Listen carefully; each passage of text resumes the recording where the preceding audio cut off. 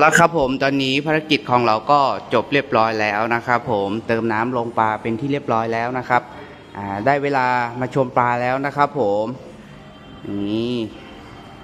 โอ้โหปลาแต่ละตัวไม่ธรรมดานะครับ สวยมากนะครับ ผมนี่นะครับ อันนี้ยังจะมีเติมอีกนะครับ ผมเพราะเพราะว่าตู้ใหญ่ขึ้นนะครับ เพราะว่าจะเพิ่มจำนวนปลาอีกนะครับ ผม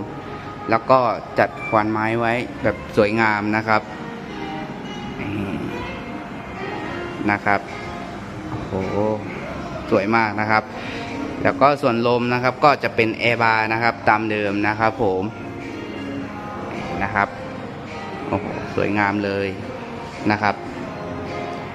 นะครับ ผมแล้วก็กรองล่างนะครับก็เรียบร้อยนะครับ แล้วก็ส่วนวาล์วล้างกรองนะครับ ที่เราไม่ใส่หัววาล์วนะครับ เพราะว่ามันปิดประตูไม่ได้ มันติดหัววาล์วนะครับ เราก็เลยถอดไว้ แล้วก็ส่วนก้ามปูนี้นะครับ เราเอาไว้ล็อกบานประตูนะครับ เวลาปิดเข้าไปเพื่อที่ไม่ให้กระแทกวาล์วล้างกรองนะครับ แล้วก็ใช้ก้ามปูยันไว้นะครับ อ่านี่ตรวจงานเลยนะครับ นี่เข้าไปดูแล้วเข้าไปดูแล้วดูไม่ได้นะครับ หนูออกมาดูไม่ได้ เสียง UV อ่าออกไป นี่นะครับ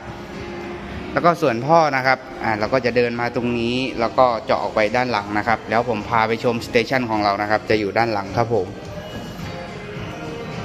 นี่นะครับอ่าเราไปดูสเตชันกันนะครับนี่ได้เอนี่นี่นอกจากตู้แล้วยังมีบ่อปลาครับอีกนะครับ ผมนี่เพราะว่าลูกค้าแบบชอบเลี้ยงปลามากๆนะครับ นี่บรรยากาศตอนกลางคืนนะครับผม นี่นะครับบ่อปลาครับนะครับปลาครับก็สวยนะครับผมโอ้โหสวยงามมากนะครับ แล้วทีนี้เราไปดูสเตชันของเรานะครับผมปึ๊บอะก็จะอยู่ในห้องด้านหลังนะครับผมออยู่ตรงนี้เลยปั๊มลมนะครับไทม์เมอร์นะครับผมแล้วก็เครื่องกรองนะครับออยู่ตรงนี้นะครับ เรียบร้อยเลยนะครับ แล้วส่วนแนวท่อน้ำทิ้งกับไอ้น้ำดีที่เข้ากรองนะครับ แล้วก็จะเดินมาจากด้านหลังนะครับ ผมอะอยู่ตรงนู้นนะครับ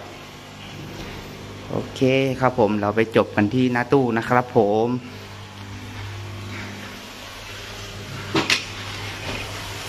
ปึ๊บ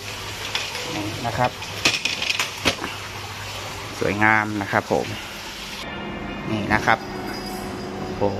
ตอนนี้มากองกันอยู่ตรงนี้แล้วนะครับ สวยมากนะครับผม